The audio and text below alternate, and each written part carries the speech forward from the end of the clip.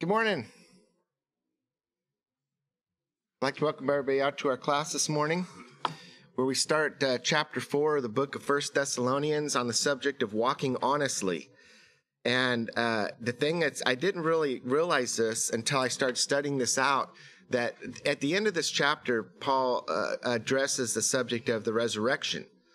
But he's doing it in light of motivating these believers to walk honestly. In other words, with with the goal, it's, and it's interesting that that Michael's talking about goals, with the goal of of being uh, blameless in the Lord at the coming of our Lord Jesus Christ. So he's he's using the the the hope of the resurrection that and setting it before them uh, to motivate them to live in a way that brings God honor and glory and and solidifies a strong relationship with the Lord. So that's kind of the introduction to what we're going to be looking at this morning. But before we do, I'd like us to go to the Lord in a word of prayer at this time, asking the Lord's blessings on the study this morning. Gracious Holy Father, we give you thanks for this day that you've given us and for the life that you've bestowed upon us and allowed us, Lord. We thank you for the great show of mercy, for your great long suffering spirit, for the abundance of your grace that you pour out upon us, and for all that we have obtained in Christ Jesus. We ask, Father, that you'll bless this day. We pray that you'll bless this word as it goes out, that it might accomplish your purpose uh, in the hearts and minds of the hearer. Father, I ask for teaching grace, and I pray that the Holy Spirit will have full course in this lesson uh, and take full control of it. I pray for our pastor as he brings the message that you might guide and direct him according to your will. I pray, Father, for the church's ministry and the work she's involved in. I pray that, uh, Lord, you might strengthen us to continue. Help us to be witnesses not only here, but in the world. Help us to be the light and the salt of the earth, Lord. We pray that you might just guide and direct us along the way. Strengthen us and our families. Please keep us healthy and safe. We pray, Father, that you forgive us our sins, and we ask these favors and blessings in Jesus' name. Amen. Okay, so as I said, we're, we're talking about the subject of walking honestly. And uh, when I, I, started to think about what we were going to, how I was going to introduce this thought, uh, this is what came to me. We do not have to go through life wondering how to live in a way that pleases God.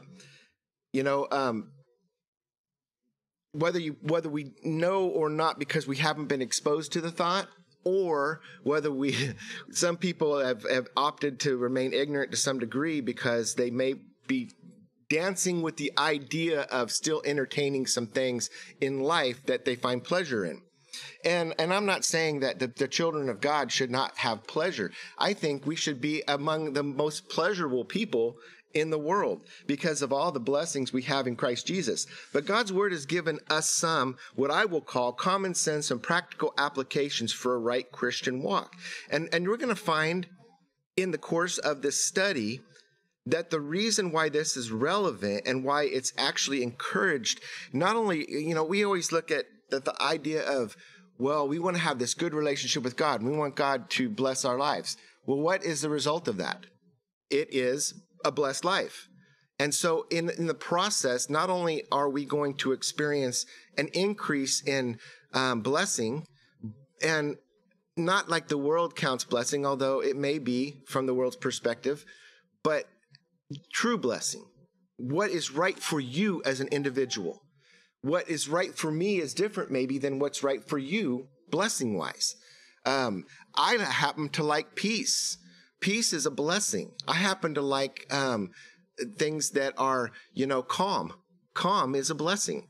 And so, you know, the, whatever it is that, but but the whole point was that the Apostle Paul knew that if they would position themselves this way, that they were going to receive blessings as a result, and their relationship with God was going to be strengthened. And so they were going to experience a better quality of life as a result. And that, and, and that's what he's going to convey to them in these uh, verses that we're going to be looking at this morning. Um, in this chapter, we will see some of those applications, and I wanted to add another great place to consider a study for a additional uh, information on the topic is Romans 12. I was looking uh, at Romans 12 uh, because I wrote this in here. I was reading back over it again. And, and I've said this before and I'll say it again. If we can do Romans 12, like not just the first two verses, like where everyone stops because they're so popular, but if you go through the whole chapter. If you can do that, you're in a good, you're you're off to a good start. You know, um, there's a lot there, and there's a lot in this chapter as well that we're looking at this morning. So God has not left us without information of things we can do to benefit our life individually and collectively, corporately, our family's life, but also our relationship with Him, opening the door for Him to move in our lives the way He really wants to. See, the thing of it is, is um, God. I don't think God ever intended His people to be poor. You know, we, you, you, know, the church historically might say, we want the poor, we want the needy, the, you know, uh, you almost have to be weeping to, to feel like you're having a relationship with God. I don't think that's really what God intended. If you look at the histor- history of uh, the nation of Israel, what God had really planned for them, it was blessing upon blessing upon blessing. It was um, a relationship that was really to be full. God wanted the people of the world to know that those were his people and that he was their God, right? He wanted to bless them to the point where the other nations of the earth would say, those people are in a good place and they are truly blessed. Why? Because then they would desire that which they had and as a result would, would yield themselves to the God of the Israelites. And so um, I believe God wants us to be wealthy in blessing and relationship and in and fullness of life. Um, life is a, you know, we talk about, they say, live in your, you live in your best life. Well, uh, you know, everyone's going to have an idea of what that is. But in Christ Jesus, we're not limited in living our best life. And I think that's the theme of what the Apostle Paul was trying to convey here, and we'll see it this morning. Instructions for Christian growth. In verse 1 of chapter 4, Paul moved from the subject of rejoicing about the particularly strong stand for the truth exhibited by these believers to some practical instructions for acceptable Christian living. So he's moving now off of the point of, you know, rejoicing how they stood strong and what the, and and and the truth that they exhibited and perpetuated to now some things that he wanted to shore up in them regarding uh, helping them to be successful in life. So all of this ties into the thought of being successful in life in relationship with God. Here's what he says Furthermore, then, we beseech you, brethren, and exhort you by the Lord Jesus, that as ye have received of us how ye ought to walk and to please God, so ye would abound more and more. You see what how he closes that verse out? So you would abound more and more. He's not talking about so you would suffer and be in poverty and be ran down and weak and needy and wanton, which some people think they have to be to be truly in relationship with God. And it's really quite the contrary. The, the, the whole idea within a relationship with God is that we abound and we abound in our relationship with him to a degree that we are lifted. You know, I, I read so many things online this week where people uh, talked about their struggle in life. And it doesn't, I'm not to say that we'll never have struggles in the process of abounding more and more. But what I am saying is that in, in, when they do come, because there's plenty of times in the Lord that you're going to abound and you're not going to have troubles. You're just going to be rejoicing. And I say, praise God. Praise God on the mountain and praise Him in the valley. But when you're in a valley, you're not alone because even in the valley, Jesus is there. And so, so many people that had walked in the valley for a season and now found themselves on the mountain reflect back and say, Where would I have been if it hadn't been for my relationship with God? And these are some famous people. These are some people that are saying this because they know they have a voice and they're trying to convey, thank God, the value of the relationship they found in Christ Jesus. I read, if I read one, I probably read a dozen this week of people that were expressing that very sentiment. And so that's the sentiment I believe Paul is conveying here. Understand that when they were, uh, these people were um, striving in their communities, they're doing it in a place that's essentially occupied by Roman rule. Um, and they're also doing it in a, in a degree that um, or the influence, I should say, Roman influence. Uh, um, historically speaking, I'd have to go back and really identify all that, but there was a lot of Roman influence in this area, and, and and so they were doing, and not to mention the fact there's a lot of paganism in the world. and they were dealing with it. So we could step back and say, you know, try to put yourself and connect with yourself with the Thessalonians, what they were dealing with. And I would simply just say to you, just connect with what we're dealing with today because it's the same. Matter of fact, the world right now and evil is on, on the rise. Matter of fact, evil is it's gotten to the point now where they're not even trying to hide it. Used to say you know they would do it in the dark places behind closed doors where no one could see and no one could hear. Now they're shouting it out loud from the mountaintops of how how they want to do this and how they want to do that. And they rejoice in it and they revel in it. I can't imagine anybody reveling in the thought of full term abortion. That's murder and it's celebrated by some in this world. I'll call it what it is. That's evil. And they're not even shy about it.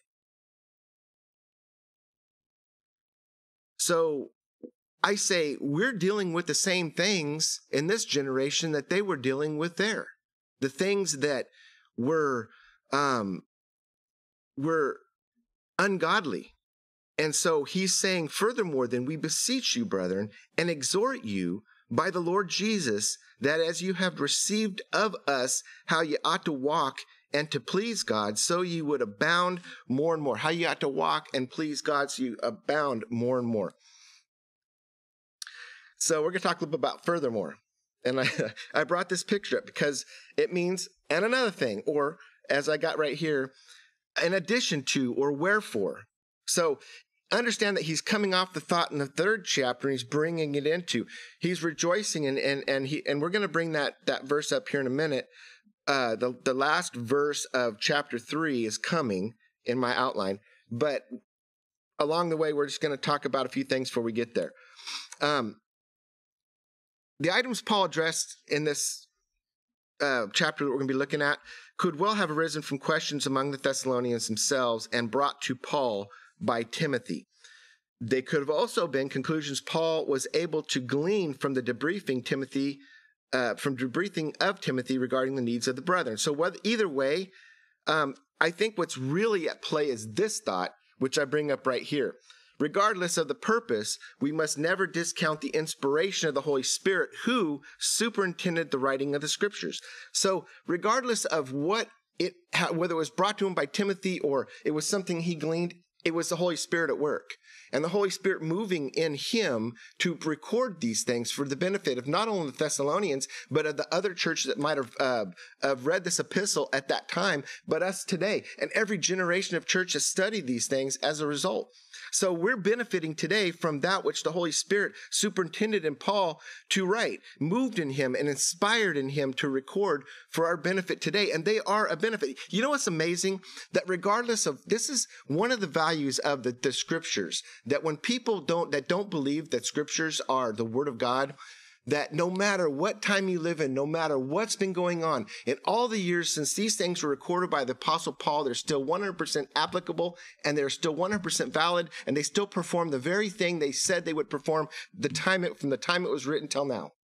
So if we do and adhere to these things, if we if we implement them into our life, then we're going to find that they produce the very same thing they produced in the believers of that day which is God's testimony to the validity and the truth of his word. In other words, you can prove you can prove the word of God. And he's perfectly okay with that. He's saying, prove it.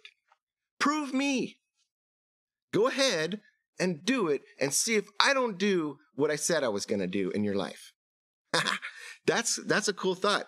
So the Spirit, Holy Spirit of God, who is every bit as powerful and and who is every bit working as he was in that day, is validating these things for us in this time. Now we're going to talk a little bit about morality. The religious status of the worship in the Roman Empire was crude at its core. Therefore, the morality was an integral part of worship. In other words, it was one of those things that identified the difference. And it identifies the difference today. There, the, because people like the things I wanted, even the thing I mentioned just briefly ago, you know, the evil I mentioned, and, and I like things like that, then those who represent the moral stand, the high road that say, no, let's call it what it is.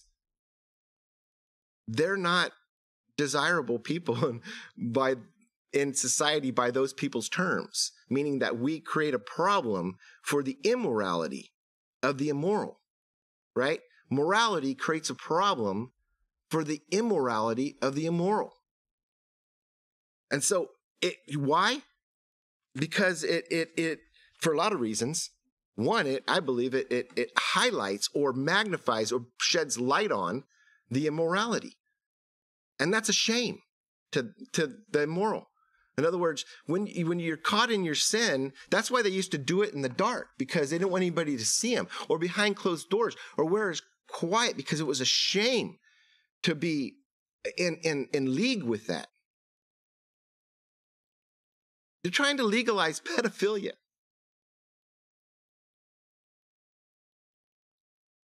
That's a shame. It's evil. Yet, those that want that, they don't want to be told that it's evil. They want to justify it because it's what they want. So, morality uh, makes immoral or immorality uncomfortable. And as a result, it's a problem. So, the best way to be at peace if you're immoral is to eliminate morality. Then there's no law concerning your immorality. Does that make sense? Unfortunately. Um, as mentioned earlier, it would seem the thriving Jewish community at Thessalonica had made some accommodations with the leaders um, in that region of idolat- idolatrous worshippers in this city. And the reason I say or make this suggestion, whatever the modifications or accommodations were that, that were minor for the benefit of, of being there, this suggestion is made because the synagogue had members who were Greek and included both men and women. Nevertheless, whether Judaism had been modified some, uh, somewhat to allow exceptions or not, regardless, one of the express tenets of the Jewish religion was morality. So they they had one of the tenets of their faith was morality. Now I'm going to go on record to say I'm not an expert in Judaism. I'm not go I'm not going to pretend that I am, and I'm not going to pretend and I know everything in and out concerning the Jewish faith. Um, I'm just looking at the scriptures and some of the things I see there historically, whether you go into the Gospels, Matthew, Mark, Luke, and John during the time of Jesus, and you see, you know, how things happened or occurred in the synagogues of Jesus' day. Read about it in the scriptures and, and, and, and, and then you look in the book of Acts and you look at some of the things historically that's recorded there and just evaluate that based on the basic things that I know. It just seems to me, that's why I'm, I'm wording it the way I am. Whether Judaism had made some modifications somewhat, to allow for exceptions or not, regardless. They, as a whole, their tenet of their faith was morality. They strived to be moral people. Um, you know, okay, and I say that, and you might be thinking, well, look at the Old Testament, look at all these things. And historically speaking, it, it, it is a tenet of their faith. Whether they were obeying it or not is much like us today, whether we're obeying a tenet of our faith too. But are we always obeying it? What do we do when no one's looking? What are we thinking when no one can hear? What's in our heart that's not escaping our our our pie hole? you know, what's in our heart that's not coming out of our mouth? You know, so it, eh, before we judge others, we should judge ourselves. Uh, and find that we're no different, really, uh, because we're all sinners saved by grace. Uh, it's not my grace; it's Christ's grace towards me, or or His sacrifice for my behalf. Um, Matter of fact, it this word came up I, in one of our. Uh, I think uh, Kenny had done it on a Wednesday night. Uh, the word is exa- exagorazo in the Greek, and it's the word that's translated redeemed, and it means to buy back, to pay the specified sum, to um, to redeem, or ransom. So, all of us, if we're going to experience any kind of reflection of righteousness, it's going to be that which Christ has perfected in us by himself. But let's talk about morality here.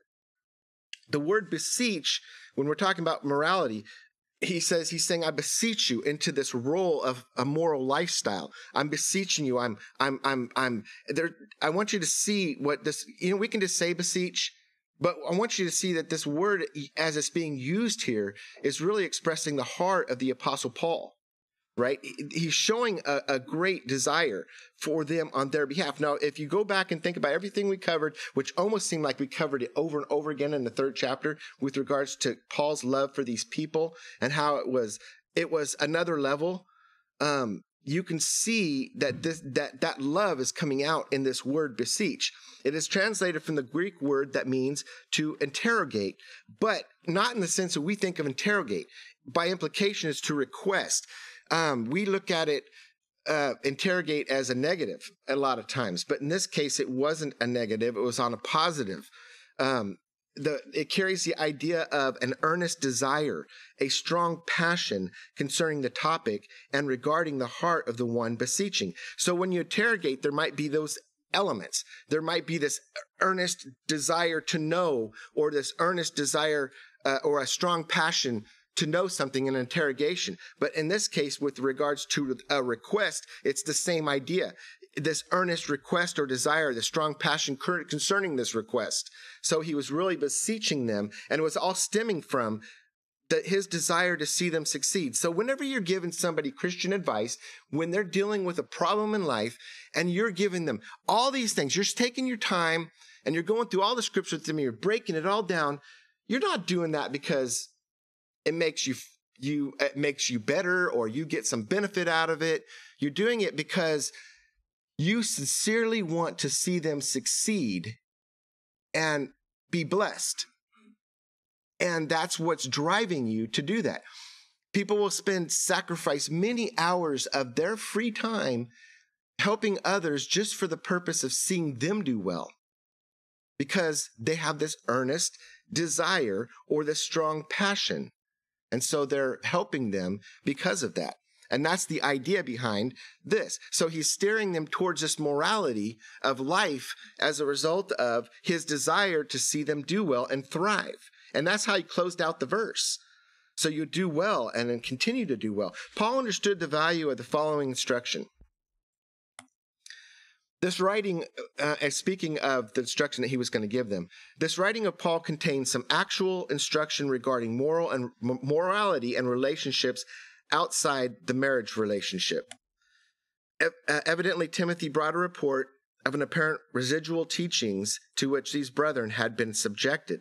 Paul was extremely serious in his beseeching of the brethren as he added the fact that he was speaking by the Lord Jesus. And so, without jumping back there, I'm just going to go over there and read it again. So we have it. I like to have the verse in our head as we're going through this because I don't know if you do it. You might have a photographic memory, but I'll forget the verse and I don't I just want to keep it fresh. So it says, Furthermore, then, we beseech you, brethren, and exhort you by the Lord Jesus, that as you have received of us how you ought to walk and to please God, so you would abound more and more. So there it is by the Lord Jesus. So he's speaking and he's extremely serious because he's saying that this, this exhortation or this beseeching, this moving or this request is driven by the Lord Jesus Christ. It's, it's the conviction of the Lord Jesus Christ for our sakes. And I, and I believe not only for him, because he's tying himself into it.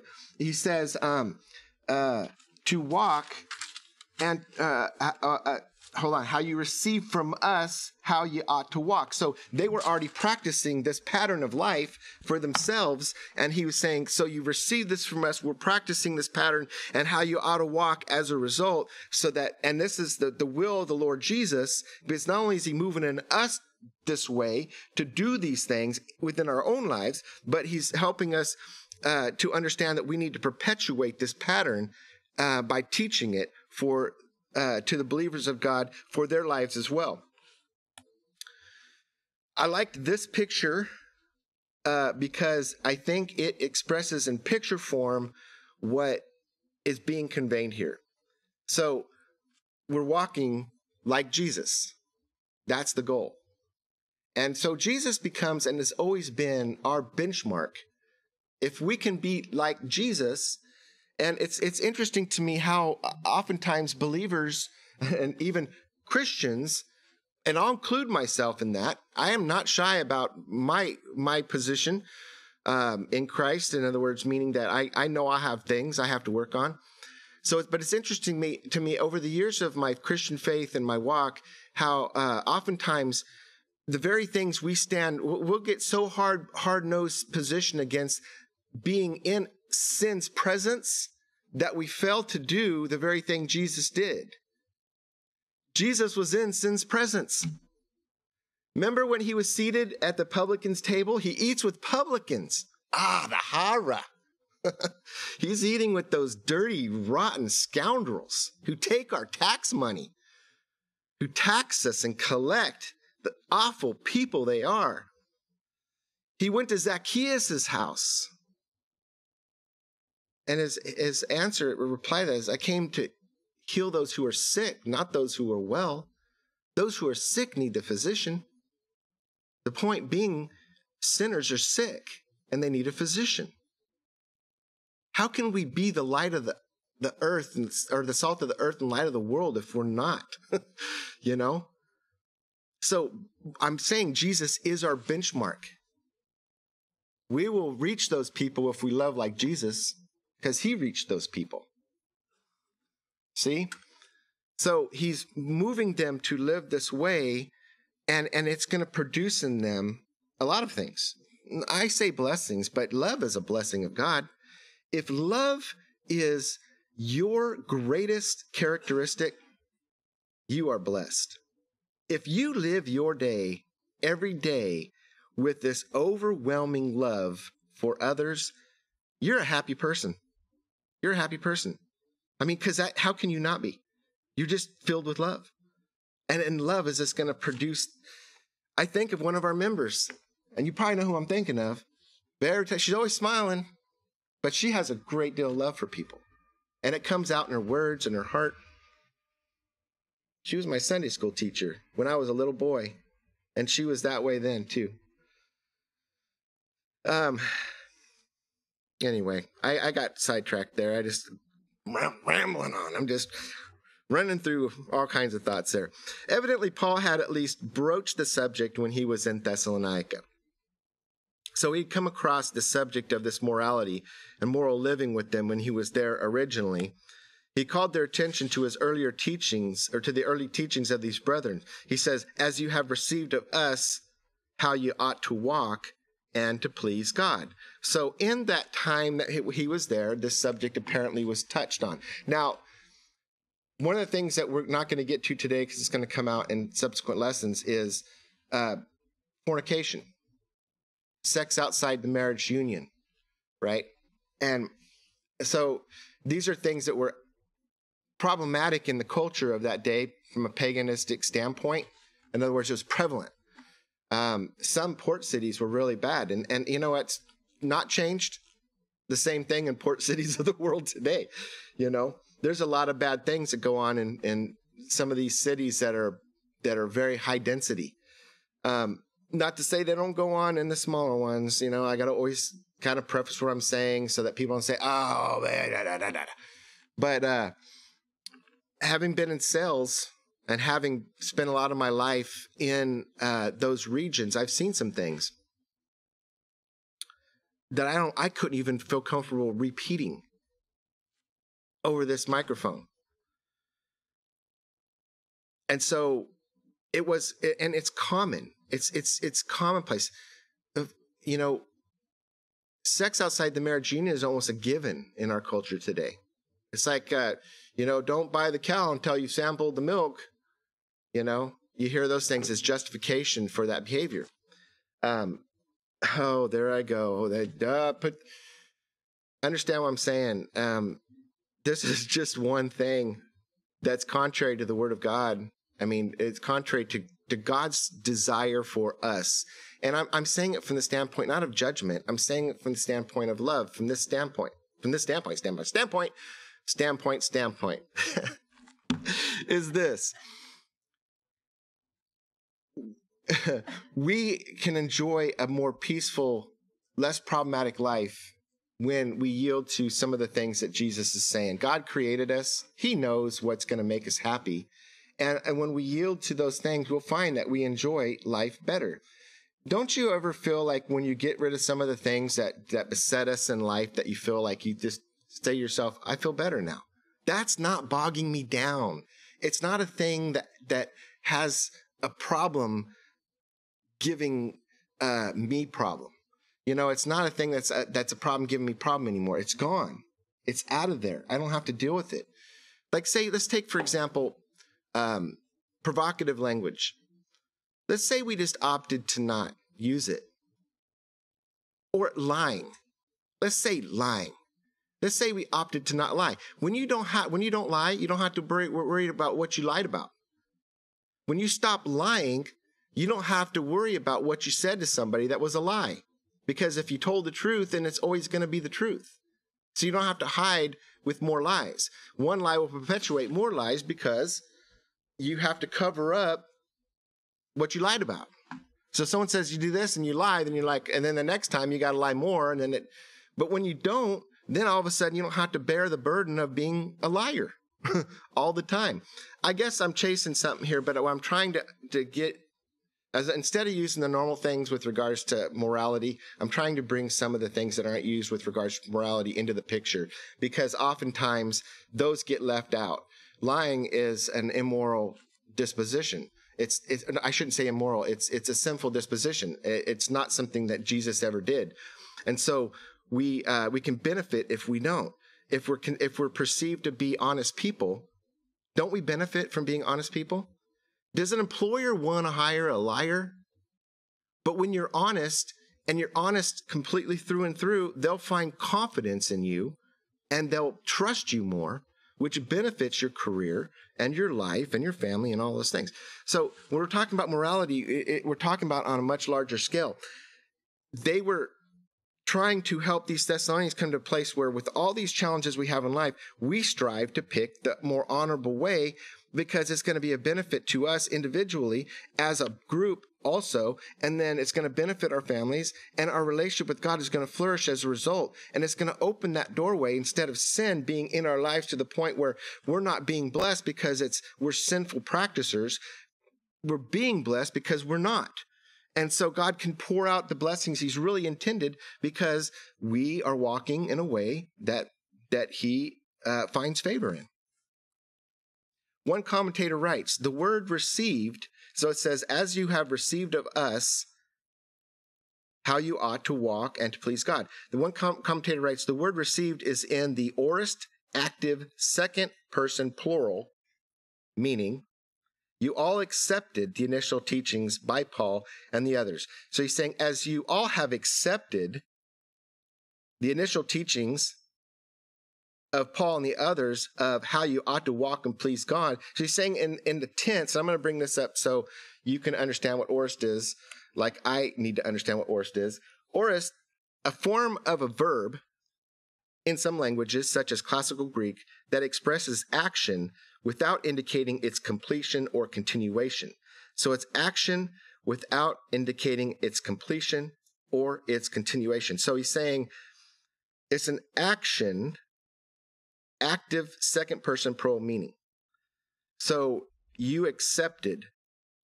The point that the, the commentator was making is he's he's the apostle Paul is revealing to these believers that this is something back when he was with them that they initially accepted. So when they became saved children of God and Paul began to teach them during that time before he was ushered out of Thessalonica and had to leave, the idea behind this thought is that they had accepted the, the, the instruction to live a certain way to please God.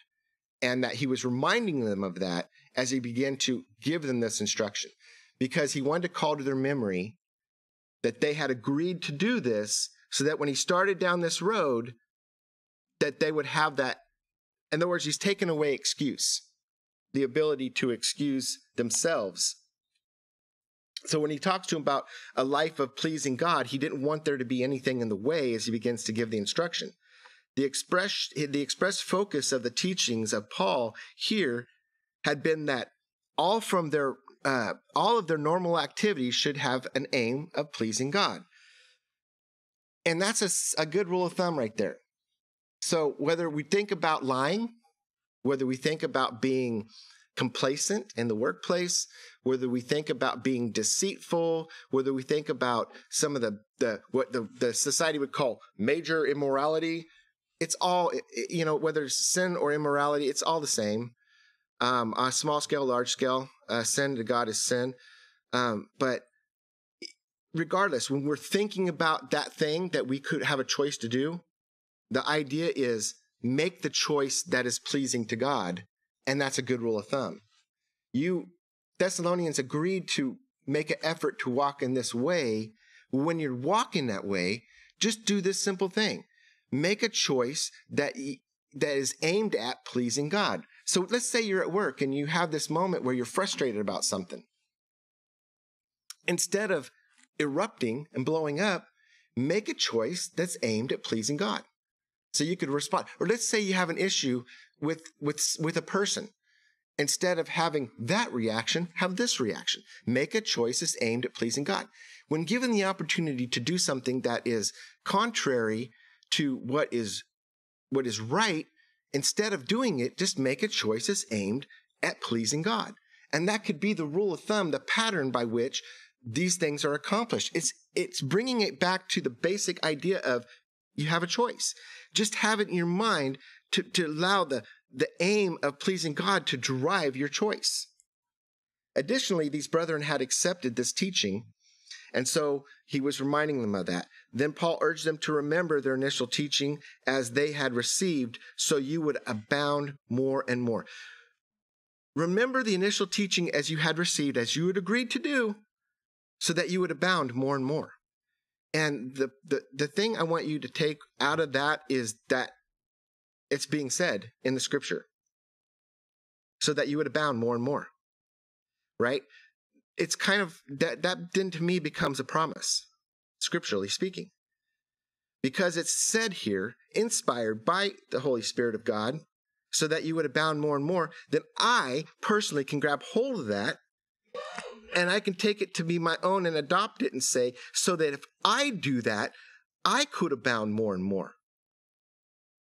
And so I, I want to put that out there today as something that we can um, utilize to help us abound more and more by using the same principle, aiming to please God in the things we say and do. The truth of the teaching he had given these brethren had not changed. Indeed, Paul wanted them to continue to grow in their commitment to live in such a good manner as to be pleasing to God. And this seems to have been the continuation of the thought Paul presented in 1 Thessalonians 3:13, which says, "To the end he may establish your hearts unblameable in holiness before God, even our Father, at the coming of our Lord Jesus Christ with all saints. To bound more and more really is the result of to the end that he may establish your hearts unblameable in holiness before God. You see? We're already unblameable and holy in God in Christ Jesus through faith. But when we stand before God in judgment and they look at the life, when Jesus looks at my life as a whole and he judges it, it says there's going to be things in my life that are of no value, that's just going to burn away under the fiery judgment of Jesus Christ. But there will be those things that remain, and those things will be rewarded. The, the thought of the Apostle Paul here is don't just be rewarded, be rewarded much. And you say, well, what what much is there? Well, whatever it is, I would rather go with a lot to, to lay before the feet of Jesus Christ than a little. I don't say that from the standpoint of what I get, but what I might be able to present. And you say, is that what this is all about? Presenting it all to Jesus? yeah anything we can. Why? Because of exagorazo. Exagorazo.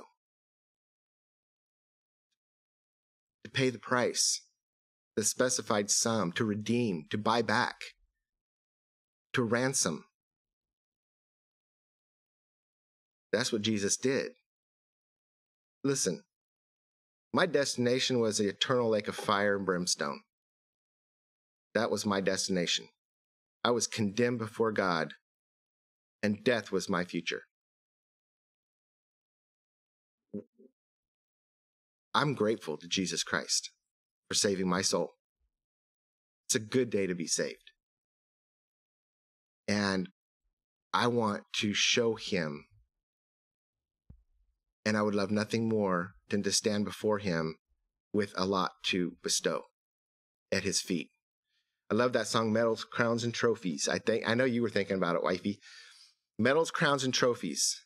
I will lay my trophies at the highest place in heaven when I lay them at my Savior's feet. It's not about us, it's about Him, to the end that He may establish your hearts unblameable in holiness before God, even our Father, at the coming of our Lord Jesus Christ with all saints. Here in chapter 4, he taught them to live in the light of the knowledge of the turn of Jesus Christ, which we're going to get to at the end of the chapter. Now, in closing, we're going to talk, this is a brief verse, we're going to talk about practical teaching. Paul then reminded these brethren of the substance of his teaching to them. He says, For you know what commandments we gave you by the Lord Jesus. As Paul taught them the word, there accompanied his words the inner voice of the indwelling Holy Spirit, confirming these words to be true. So, in other words, as, as the word of God is being taught, it's the Holy Spirit of God confirming these words in the heart of the hearer to be true. He reveals himself. God, like I said, he's a self existing God that reveals himself. He reveals himself in the Holy Spirit every time his word is taught. You're a benefactor of the Holy Spirit this morning because you are here and you're hearing the word of God and the word of God is being brought to you and revealed, and your mind is being opened up and your heart is being touched because of the power of the Holy Spirit today. That's God's testimony that He is real and that His Spirit is in the world working and that He loves you. If, else He wouldn't take the time or make the effort. Paul taught this uh, concept when he wrote the following. And I'm going to pause for a second before I read it. The Holy Spirit makes God's word personal. That's what we're talking about today, in addition to these other things. But this is what he wrote. So let me go back. Paul taught this concept. What concept? Paul taught them the word. They're accompanied. Uh, Paul taught them the word. There accompanied his word, the inner voice of the indwelling Holy Spirit, confirmed these words to be true. So Paul taught this concept when he wrote the following Romans 12, uh, sorry, I'm stuck on Romans 12. Romans 2, 14 through 16 says, For when the Gentiles, which have not the law, do by nature the things contained in the law, these having not the law are a law unto themselves, which show the work of the law written in their hearts, their conscience also bearing witness, and their thoughts, uh, and their thoughts the meanwhile accusing or else excusing one another in the day when God shall judge the secrets of men by Jesus Christ according to my gospel. You know, why does a, you know, you ever say uh, the thought that that person's a good person? Now, they may not be a believer and they may not be actively following or trying to follow the scriptures for their life, but they might say, that person's a good person. When they're actually doing things that's contained in the scriptures that they really don't know about. They're not out murdering people. They're not out doing all kinds of heinous crimes, robbing and stealing. They're not out uh, tearing up the, the town uh, with all kinds of bad behavior. They're living a peaceful life, striving to be good citizens in society. The only difference is they don't they haven't actively put their faith and trust in Jesus Christ. They're doing by nature this law of God that's in their hearts by you know, we're all kind of inborn. It's innate in us. This desire uh, that God has put in us. There is a desire to serve. I think we'll serve something, whether we serve God or not. There's this innate desire to serve. But there's also this innate, inborn understanding to some degree. And so the, that's the Spirit of God, the moving of God in the lives of His creation. And so God is actively working. And as a result, people are, are obedient to some degree yet not even yielded to it. who have no law in their own lives, yet they are yielded to a law of God. And so this testifies to the, the working of the Spirit in the lives of men. When I say men, mankind. Therefore, Paul removed any perceived misunderstanding of his teachings by these brethren when he said, For you know what commandments we gave you by the Lord Jesus. So before Paul began, what we're going to get into now, I'm not going to be here next week. My one last day, and I appreciate Brother Greener for all of his uh, his filling in. I had a really busy schedule this summer, um, but after that, we'll get back at it and really get some consistency going. But before Paul began to remind these brethren of some of the things he believed needed strengthening, he removed any excuse of ignorance. Ignorance is not an excuse to remain in a pattern of life that is contrary to the will of God simply because his word has been declared. We can't choose ignorance because God's declared it. It'll be failure to know. We could choose to not know and say we're going to just opt for ignorance. But in the reality, you still know what right and wrong is, and you're still going to be held accountable as a result of it. And that's enough. It'd be better off, I think, and wiser to know God's thoughts on all of it so that you can put all things in order um, and not have those issues to deal with come judgment day. Yet some people choose to remain ignorant or just choose to not believe.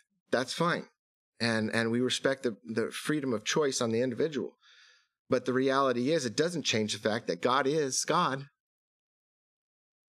and that there is a god you know i'm just going to say this having studied the word of god and i think you as well and those that might be listening online that have studied it as well i see in the world today a lot of things that's recorded in here. I see in the histories of humanity this. I see the things that's happening on the world level, whether it be all the world, uh, you know, the the world leadership and the things they're trying to do right now. Um, I see the I see the the truth of God's word being revealed every day, and I'm not blind to it. I don't think because I've read some of this stuff, and I think you could agree the same thing. I'm not saying I know everything in there, but you know, um, the more I learn, the more I can see, and the same for anybody else that wants to pursue it. Ignorance is not an excuse. And I just said, I just thought to myself, you know, I don't want to be ignorant. I want to know. I remember the first question that I asked my pastor one time when I was about as dumb as a, a sack of rocks. I came to him and I said, I, the first question I asked my pastor is, why do we worship God on Sundays? I, I didn't understand why Sunday was such a big day. And then he began to unfold it to me. And I, I'm like, oh. And then I realized, you know, some of the other questions I asked, I thought, well, that, they're embarrassing now. But see, I was a young guy and I, I just didn't know. And then I realized that, you know, why, why be that? Why not know when we can know? So I guess the idea here is there's no excuse for ignorance.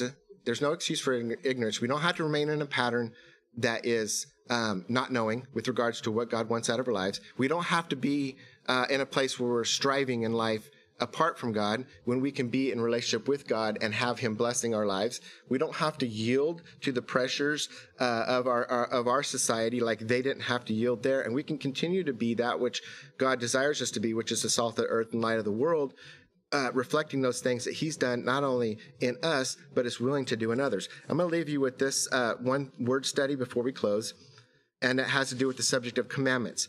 For you have not, for you know what commandments we gave you by the Lord Jesus. So commandments. This word, also translated charge in the New Testament, is the Greek parangelia, uh, and it's from the components para alongside and angelio to announce. It was a military word of the ancient Greeks designed or designated to pass, uh, designating the passing down of orders through the chain of command. Now it was up to the Thessalonians to obey the marching orders. So, designated the passing down of orders through the chain of command. For you know what commandments we gave you by the Lord Jesus Christ. The Apostle Paul simply passing down those same marching orders that they had received to these Thessalonians so they could walk in them. So I will say, in closing, as we go through this chapter, understand there's going to be some things in here. And if you do a study on Romans chapter 12, there's going to be some things in there. These are commands, or at least admonitions, instructions that are, are, are uh, prangelia, this passing along uh, of marching orders that we can uh, then pick up and, and carry on in as believers in this generation. And in doing so, we become the light of the world, the salt of the earth, and the canals that distribute the water to whom the reservoir keeps full, so that we may abound and continue to abound. All right? And we'll close in a word of prayer. Gracious Holy Father, we give you thanks for this day, for this lesson today, Lord. And I know that some of these things um, uh, might be difficult to talk about in today's time where they shouldn't be because we've been preconditioned, Lord, to not say what sin is because the people of the world that don't accept it, reject it, label. Yet, Father, it still is, and you're the God. You know what sin is, you've declared it. And so it's our part to understand that you've declared it. Regardless of what society says and what men say in life, sin is sin as declared by our God. So we pray, Lord God, that we'll identify it, that we'll choose to resist it, that we'll be strengthened by your Spirit to overcome it, and that we might walk in a way in life where we might reflect Christ in the things we say and do, that we might be that light that shines uh, in darkness, and that we might be that salt that that uh, spices or makes food savory, Lord, that makes the the the, the world savory in, in in the things that you deliver. We ask, Father, that you'll give us the strength to overcome, that you'll just um, open up doors for us to witness. We pray that our lives might be uh, in a place where they can be a witness in itself. We ask, Father, that you'll forgive us. Please watch over and protect us. And we ask these favors and blessings in Jesus' name. Amen. Thank you. I wondered so aimless, life filled with sin. I wouldn't ask my dear Savior if then Jesus came like a stranger in the night. Praise the Lord, I saw the light.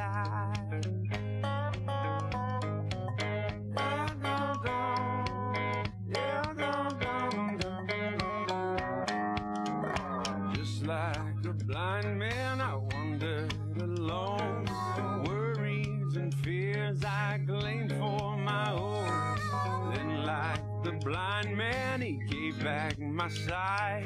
Praise the Lord, I saw the light.